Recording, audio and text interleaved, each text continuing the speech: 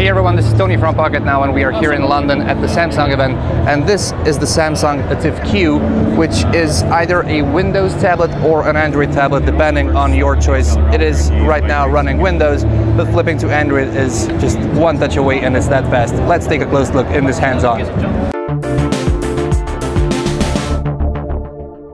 So we are right now in Windows mode and it doesn't really matter because we are going to talk about specifications and I'm going to start with the weight. This is a pretty hefty tablet. It weighs 1.29 kilograms and that's probably because the materials used this these are all premium materials including the back part and the front part. We have a 13.3 inch display and according to Samsung this is the highest resolution on a tablet. It's got 3200 pixels by 1800 pixels for a total PPI rating of 275. Samsung also specifically called out the exceptional outdoor visibility of this tablet it works perfectly in direct sunlight.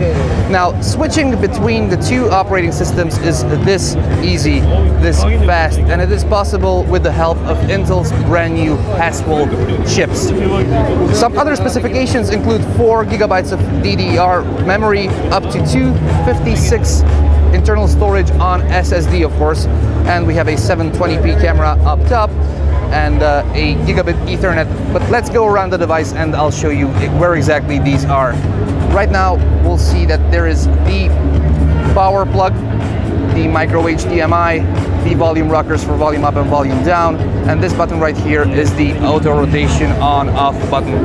On the front there's the Samsung branding and the 720p webcam and of course the obligatory Windows button which uh, brings you back to the home screen or brings you back to your previous application, in which case, right now, it just switches between the two OSs. And Samsung specifically called out the fact that you can pin Android applications on this home screen of Windows 8. Let's continue with the tour.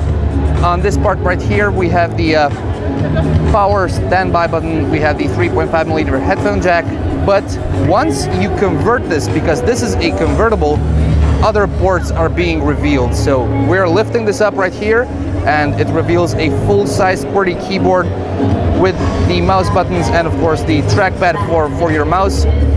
The screen can be propped up like this. Samsung also said that we can use it as a floating screen in case uh, you want to show off something to somebody else. And uh, let's try to rotate it a little bit. You can also prop it up like this. So many, many ways to use this tablet. Of course, the accelerometer automatically adjusts the orientation. Some other ports, as I told you, are being revealed once the tablet is in this mode. And right here you can see the micro SD expansion. There we can uh, extend the internal storage further. And on the opposite side, you can see the uh, USB ports.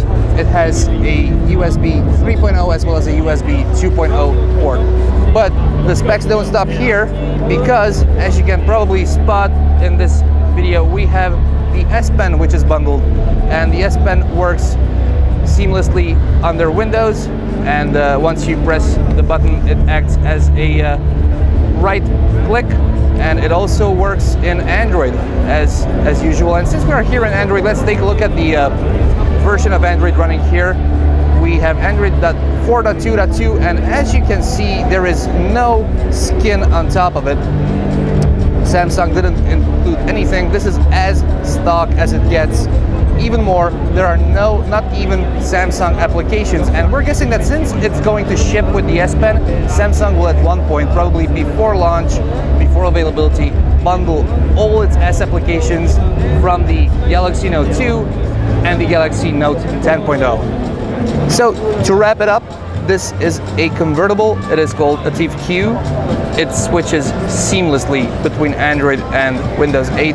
You can prop it up like this or use it as a tablet with the add-on S Pen 13.3 inch screen with a QHD plus resolution of 3200 by 18.